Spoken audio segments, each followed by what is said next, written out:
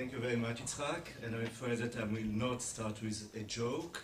And I will not going to speak about the Litvaks as well, but on the Rhodeslis, or mostly on the Rhodeslis, that is to say, the equivalent of the um, Litvaks uh, when speaking about the Sephardi diaspora, the main chain immigration of Jews from the Sephardic world to South Africa, or to Southern Africa, because it was mostly to Rhodesia rather than to Southern Africa, to South Africa, was mainly uh, consisted of Jews coming from the island of Rhodes or uh, Rhodos.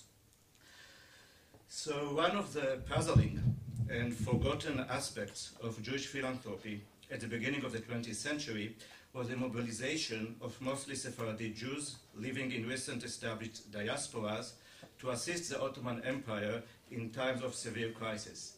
Such mobilization, I would like to claim, often reflected the shaping of a Sephardi identity outside the boundaries of the Ottoman Empire, which was based not only on the centuries old memory of the Iberian Peninsula, but also on the much more recent affiliation and identification with the Ottoman state.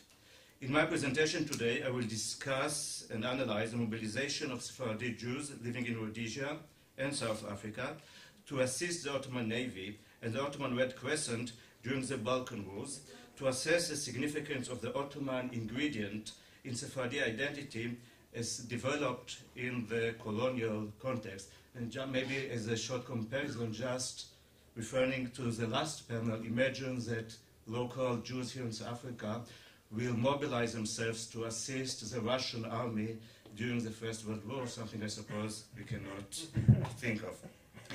Okay, uh, the Balkan Wars, October 1912 to August 1913, were fought between the Ottoman Empire and a coalition formed by the four Balkan states Bulgaria, Serbia, Greece, and Montenegro. All of them newly established states that gained their independence from the Ottoman Empire during the 19th century. For the Ottoman Empire, the Balkan Wars were no less than a catastrophe, resulting with an unprecedented military defeat and the subsequent loss of all of its Balkan provinces. Notwithstanding the scale of the defeat, the Ottoman experience during the Balkan Wars enables us today to discuss different issues that are related to the shaping of the Ottoman home front. Especially, or one of the main of them is philanthropy. Why does philanthropy matter to our understanding of the shaping of communities and states? With the modernization of warfare in the 19th century, the ensuing growth in the targeting of civilians and the advancement of the principle of general mobilization, philanthropy towards the war victim became one of the major venues of action for civilians. For those non-combatant groups of society, women, children, and the so-called left-at-home men, distributing philanthropy to those deemed deserving victims of war became a major mode of demonstrating their loyalty, contribution, and attachment to the national cause, and in this manner proclaiming and affirming their status as part of the national community. While some donors worked through private initiatives, many others took part in collective enterprises that shaped the home front. The various activities of civilian benefactors and volunteers reflected a new understanding of the bond uh, between the state and its citizens. The philanthropy also created a new arena for presenting the commitment of the well-off towards the less fortunate members of the community while keeping social boundaries and hierarchies intact. Beneficence during wartime takes many forms and it's shaped and affected by various agents, individuals, communities, institutions, and the state itself. All operate as benefactors towards those who are deemed deserving of assistance. The concept of deserving is also understood and articulated in different and changing ways. Therefore, philanthropy can never be removed from its political, cultural, social, or economic context. Furthermore, philanthropy could be regarded as an important tool to shape the national state. However, at the beginning of the 20th century, we can discern a parallel development of transnational philanthropy that was shaped in the context of a certain diaspora and its imagined faraway homeland. In the case of the Jewish diaspora, the development of philanthropy towards the Zionist project in Eretz Israel is a well-known example that was amply studied and analyzed. Yet, before the outbreak of the First World War, Zionism was not the only target of patriotic mobilization among Jews living in the diaspora. In my study of Jewish philanthropy during the Balkan Wars, I explore the multiform activities of Jewish philanthropy during these wars and their relation to different identities that Ottoman Jews and foreign Jews displayed during the conflicts in the Balkan. I argue that Jewish philanthropy offered during these conflicts had three dimensions, suggesting different identities. The first one, the local dimension, that is to say, Ottoman Jews who invested in philanthropy to assist Jewish and other victims of the war and the general Ottoman cause. Secondly, the Sephardic diaspora dimension, philanthropy based on a network of different Sephardic communities in the Ottoman Empire, in the former Ottoman provinces in the Balkan Peninsula, and in the diasporas of the Farazdi Jews, including the new Sephardic communities that were established in Southern Africa in the late 19th century. These communities stand at the center of my presentation today. The term Sephardi should be mentioned refers here only to Jews who trace their origins to the Iberian Peninsula and spoke uh, and read Ladino. The third dimension relates to the global Jewish diaspora, which I will not include uh, in my presentation today. The Sephardi dimension implies Sephardi identity. This emergent identity was based on common origins in the Iberian Peninsula and the use of Ladino as a major uh, language. It was one of the cultural identities discerned among Jews at the beginning of the 20th century and to some extent also today. However, at least until the demise of the Ottoman Empire and the development of the Jewish-Arab conflict in Eretz Israel, the Ottoman Muslim ingredient in this Sephardi identity was also evident and important. I would like to claim that these Sephardi and Ottoman identities combined played a major role in the philanthropy extended by Jews during the Balkan Wars. To begin with, in a world in which national identity played a growing role, the Sephardi identity enabled the different Jewish communities in the Ottoman Empire and in its enemy states, the Balkan states, to communicate with each other and to offer, for example, information and assistance to Jewish prisoners of wars. The mutual assistance was channeled through traditional modes, the mediation of religious leaders and through the abandoned prayers in Ladino. The ability of Sephardi Jewish communities in the Balkans to form a network of information based on personal relations, connections, and the Ladino press came out of sheer necessity to provide some information on missing soldiers and to extend assistance, as I said, to prisoners of war. However, Jewish philanthropy during the Balkan Wars reveals another ingredient of a Sephardi identity based on affiliation and identification with the Ottoman state. Its manifestations were mainly in the Sephardi diaspora in Western Europe, especially in Belgium, the Americas, and in the colonial world. Some charitable campaigns were launched in colonial Africa. A report published in El Tiempo, The Time, a Ladino-speaking newspaper published in Istanbul, provides us with one example of the mobilization of a Sephardi diaspora in support of the Ottoman war effort. In Salisbury, capital of then Rhodesia, Ottoman Jewish immigrants from the island of Rhodes and Muslim Indians who settled in this British colony opened joint subscriptions to benefit the Ottoman war effort. The accumulated donations were transferred to the Ottoman Navy. The Ottoman Navy, it should be mentioned, was promoted at the time as a major patriotic symbol aiming to stir popular pride and identification. The establishment of a national committee for assisting the Ottoman Navy already in July 1909, with branches all over the Ottoman Empire and around the globe, created a well-organized infrastructure for collecting donations and for the transfer to the Ottoman Empire. The case, study, uh, the case of the Sephardic community of Salisbury was not unique, also most examples from Southern Africa actually are from Salisbury. Similar initiatives were reported from other Sephardic communities in South Africa, like here in Cape Town establishing joint committees of Muslims and Jewish merchants to collect donations towards the Ottoman Empire in the name of an imagined belonging to the distant Ottoman motherland could reinforce solidarity and develop a shared image of an Ottoman belonging. Such an affiliation was probably seen as an asset in the context of colonial Africa, as it could bring newly arriving immigrants together and provide them with a well-defined identity.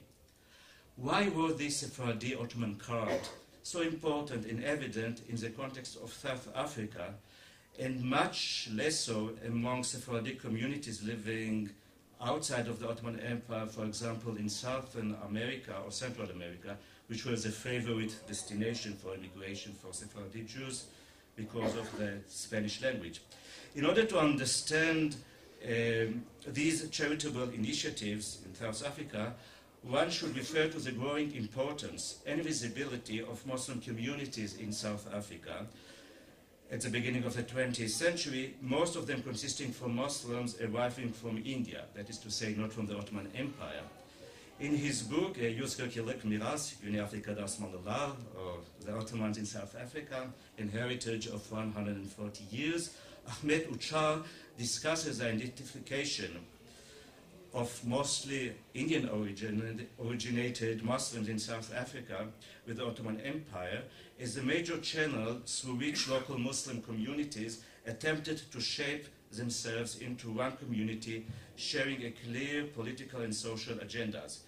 This was true especially this was true especially during times of crisis such as the Balkan Wars. Data gleaned from the yearbook of the Ottoman Red Crescent indicate the scale of philanthropy given by Muslim and also by some Jews in South Africa in favor of the Ottoman Red Crescent. Interestingly, only Muslims from the much larger communities of India and Egypt were able to collect larger sums of donations. South Africa came third. The contemporary Ottoman press enthusiastically reported about this civic mobilization in South Africa. It presented it as an illustrative example of the proclaimed need to shape a united Muslim front against what was perceived as a European Christian assault or a 20th century crusade, a perception with which Jews could identify themselves. Muslims from South Africa echoed this perception. That is a, one example. At the beginning of March 1913, Hussein Daoud, a member of the Association of the Red Crescent in Natal, South Africa, published a call to the Ottoman nation in Tanin, one of the most influential newspapers in Istanbul. His message was very clear. The catastrophe that befell on the Ottoman nation did not matter only to the Ottomans, but was likewise critical to the whole Muslim world. The catastrophe had also the same uh, impact on the Muslim world. And I'm quoting, after a long sleep, we were also awakened with the blow of the disaster born out of the Balkan War. We understand that not only the Ottomans, but also the whole Islamic world is in danger. End of quotation. To the South African delegate of the Red Crescent, he further proclaimed the current war represented a new crusade, planned and supported by Western Europe. By perceiving and presenting themselves as part of the Ottoman community and sharing the Ottoman heritage, Sephardi Jews probably believed that they could strengthen their own position in the colonial context of South Africa. This Ottoman identity could bring them together with potential allies. It could likewise provide them with a more prestigious identity. Indeed, it is worth mentioning that Jewish philanthropy was not the only way to demonstrate affiliation with the Ottoman nation in South Africa at the time. The South African jurist and historian Nathan Manfred, 1875 to 1945, left an interesting description of the so-called Seraglio, the residence of Henry Bettelheim, the Ottoman consul in Johannesburg in the 1890s, and I'm owing this reference to Professor Louise A. Bethlehem. We can only speculate today about the decision of the Ottoman Ministry of Foreign Affairs to nominate a Jew to serve as the general consul, first general consul in Johannesburg, as the number of Jews employed in the Ottoman Ministry of Foreign Affairs was very modest, even when compared to the number of Greeks and Armenians serving in the ministry. We may assume that the dwelling of some well-established and affluent Jews merchant in this new economic center contributed to this decision. Bettelheim himself was an Ashkenazi Jew, Ashkenazi merchant, but who became an Ottoman citizen before he settled in South Africa. His uh, residence in Doornfontein, if I pronounce it correctly, the first residential suburb of Johannesburg, was decorated with an onion dome and golden crescent to imitate a fantasy of Ottoman residential architecture, at least according to the uh, Western uh, imagination. And I'm quoting now from Nathan um, Manfred. The only building in town which had any pretensions to architectural appearance was the house of Henry Bettelheim, the Turkish consul, known as Bettels, in Beit Street, Doornfontein. It was oriental, with a dome and balustrade front. What need uh, there was for a Turkish consul, I have not uh, yet discerned and I have yet to learn, as I don't suppose that there were three Turks on the whole Rand. The place was known as Seraglio, but I fancy the odalisques had from the Seven Dials and had never seen or smelled the Bosphorus. The house was consecrated in the main to poker. End of quotation. To conclude, uh, founding relief committees among Ottomans emigres abroad could indicate an attempt to construct an Ottoman diaspora that would evolve around a common Ottoman identity shared by Muslims and Jews, uh, both of them newly arriving groups to settle in South Africa, and Jews started to arrive from Rhodos uh, to Rhodesia, Congo, and South Africa only at the very beginning of the 20th century. So most of them, when the Balkan Wars broke out, were here less than a decade. The recruitment of Ottoman uh, Sephardi immigrants in Rhodesia and South Africa for philanthropic activity in time of war in the name of a shared Ottoman identity is therefore significant as it illustrates the close relation between philanthropy and the shaping of communities and their boundaries. This voluntary mobilization also indicates the importance of Ottoman heritage in the shaping of Sephardi identity in the colonial context on the eve of the First World War. And as I said, after the demise of the Ottoman Empire, of course, this ingredient in their identity was not relevant anymore. Thank you very much for your attention.